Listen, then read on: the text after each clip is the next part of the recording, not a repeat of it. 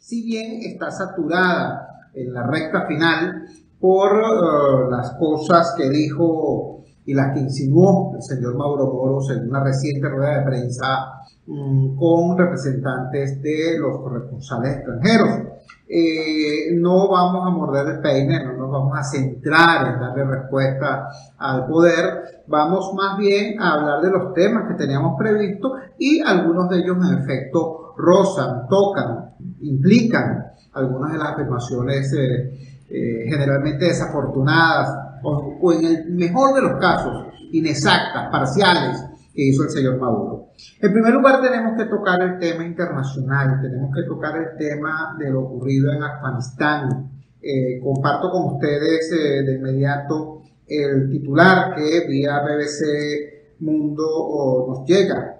Afganistán, las desesperadas escenas en el aeropuerto de Kabul donde miles de personas intentan escapar de los talibanes. Al menos siete personas murieron este lunes en el aeropuerto de Kabul, la capital de Afganistán, en medio de escenas de caos y desesperación a medida que miles de personas buscan alcanzar un lugar en los vuelos para huir del país y escapar de los talibanes.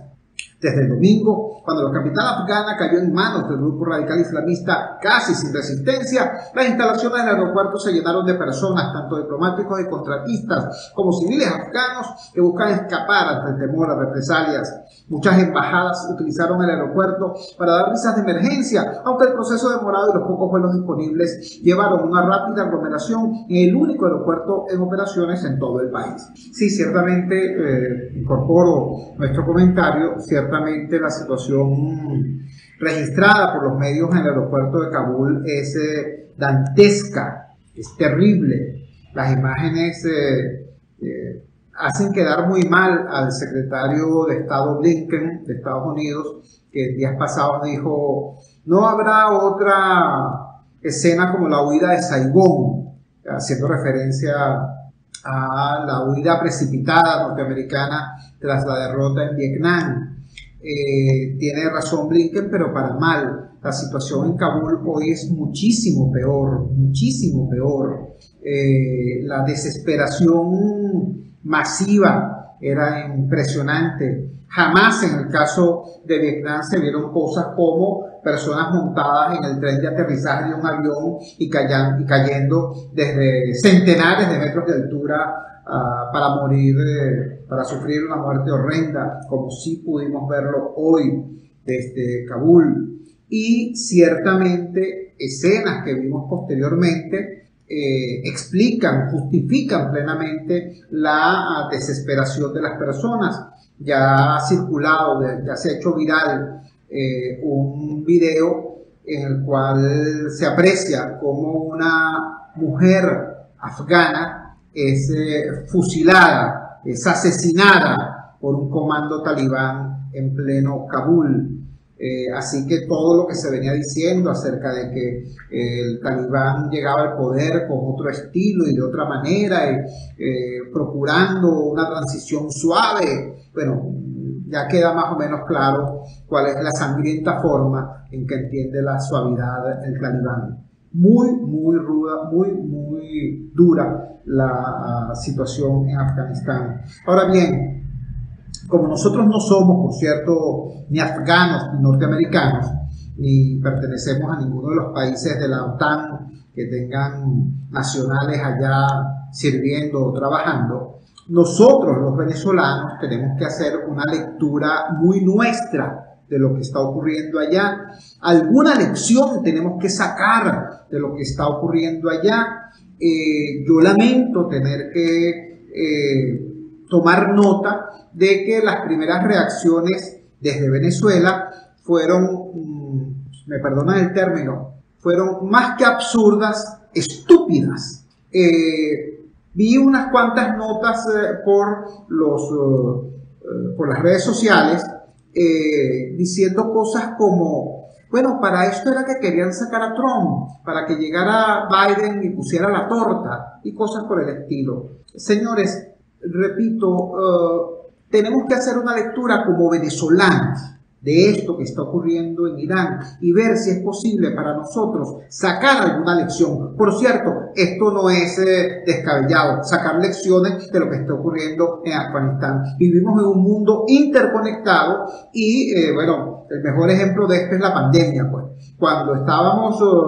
Eh, viendo lo que estaba ocurriendo en Wuhan, China, algunos podían pensar que eso jamás iba a llegar a nuestro país. Bueno, llegó a América, llegó a la región y llegó hasta nuestro patio, hasta nuestras familias. Entonces, eh, repito, este mundo interconectado hace necesario que nos planteemos eso. Eso, eso que está ocurriendo en Afganistán, ¿qué lectura y qué lección entraña para los venezolanos? Y no es por cierto el tema de que Trump era más, más gallito que Biden o Biden era más eh, eh, que Trump. No, señores, yo quiero recordarles que a finales de enero del año 2020, quien firma el acuerdo entre el Departamento de Estado norteamericano y el Talibán, quien cede Afganistán al Talibán, quien se compromete a retirar todas las tropas norteamericanas eh, para mayo de este año, ¿no? Quien hace eso es el secretario de Estado Mike Pompeo, por orden expresa del presidente Trump. Así que dejemos eso allí como un hecho, ¿entiendes? Y repito, como tampoco somos eh, eh, gringos, no somos republicanos ni demócratas, y ese no es el tema nuestro, repito, ¿qué enseñanza podemos sacar nosotros, los venezolanos, de esta cosa terrible, de esta vergüenza mundial que está ocurriendo en Afganistán? Bueno, yo creo que cada quien debe pensarlo, ¿no? Yo no soy quien para tratar de eh, hacer yo la reflexión que a usted le corresponde. Yo puedo compartir la mía, porque eso es lo que hacemos los ciudadanos, eso es lo que hacemos los activistas de la sociedad civil. Nosotros no bajamos línea, nosotros compartimos información. La lectura que yo le doy a esto, amigos, es la siguiente. En primer lugar, todo proceso de liberación de una dictadura, de un régimen tiránico, de un régimen autoritario, de una narcodictadura, porque por cierto, eso es el talibán. El talibán ha financiado toda esta guerra con el dinero del opio, con el dinero de la heroína. ¿Me entiendes? O sea, esos tipos que andan con el tema de la moralidad del siglo XVI, ¿no? Y que le dan azotes a quien eh, perpetra el sexo fuera del matrimonio y cosas por el estilo, esos tipos supermoralistas, ¿no? Están financiando esa guerra con el dinero de la heroína, vamos a estar claros.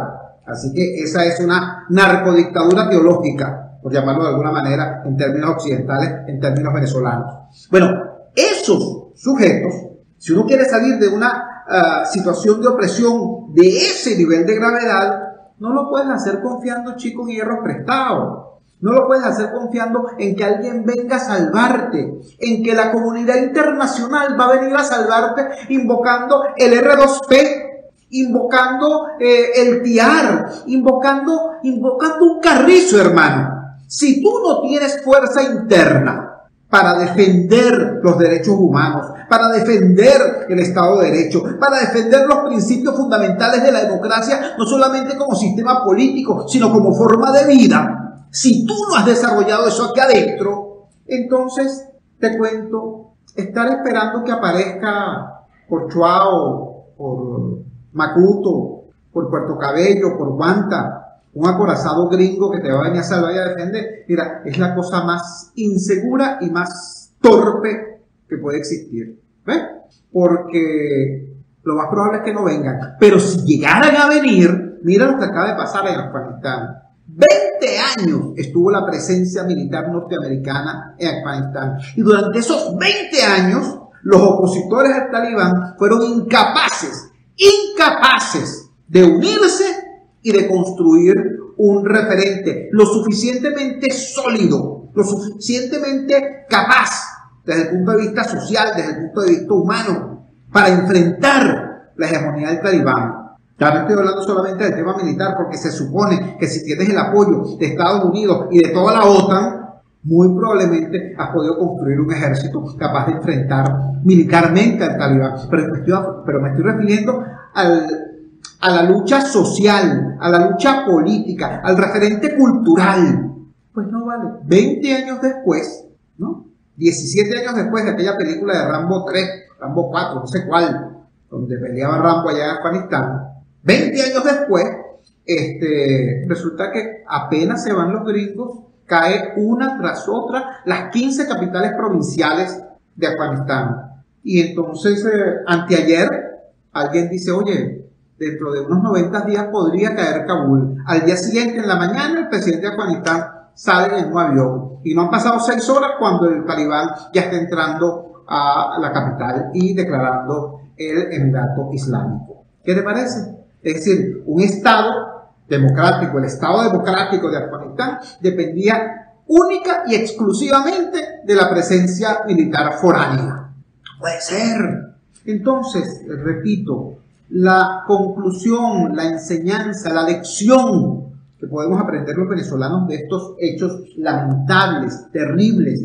Una cosa horrorosa, un país entero ha sido devuelto al siglo XVI de un solo guamazo. Terrible, terrible. Pero alguna lección tenemos que extraer y la lección que yo extraigo y que comparto con ustedes es que enfrentar y derrotar a un proyecto de orientación totalitaria no se puede hacer sobre la base simplemente de la ayuda extranjera. Hay que hacerla construyendo acá la fuerza social, la fuerza política, la fuerza cultural que sea capaz de enfrentar y de vencer a ese adversario. Y ojalá, ojalá que jamás tengas que enfrentarlo también en otro plano distinto, en un plano bélico. ¿eh? Porque lo primero que corresponde hacer es proteger a tu pueblo del horror de la guerra, sobre todo de la guerra civil. ¿eh? Pero, repito, si algo queda claro en el caso, el de Afganistán, es que dar una pelea de esa naturaleza con hierros prestados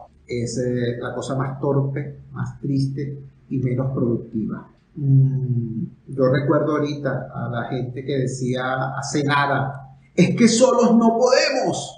Caramba, te digo una cosa, como no podemos, es pensando, pretendiendo, soñando con la idea falsa de que otros den las peleas que nosotros tenemos que dar. Y estoy hablando, repito, de la lucha política, de la lucha social, de la lucha de masas, de la lucha que permita a la inmensa mayoría de nuestro país y a todos los países del mundo, ver que aquí en Venezuela existe un país que no se cala el totalitarismo. No unos sujetos que están allí porque, bueno, hay que hablar con ellos porque los protege Washington y tú sabes, ¿no? Este, como queremos que nos saquen la, que nos quiten las sanciones, entonces hay que hablar con estos tipos porque estos, son los tipos que están conectados con Washington. No, chicos, eso no puede ser, no puede ser. Y repito, esto tiene que ver básicamente con cuál es el diseño estratégico del país, de la nación venezolana, para salir de este atolladero terrible en que nos encontramos sin pasar por una experiencia tan lamentable, tan costosa, tan dolorosa como la que hoy está viviendo el pueblo.